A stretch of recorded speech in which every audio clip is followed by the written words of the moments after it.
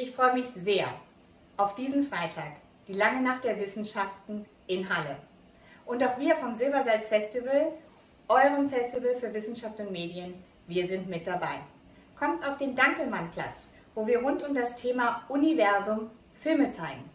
Wir starten am Nachmittag mit Trickfilmen für unser junges Publikum und enden dann am Abend mit einem wirklich fabelhaften Dokumentarfilm, mit dem wir gemeinsam zum Mars reisen werden.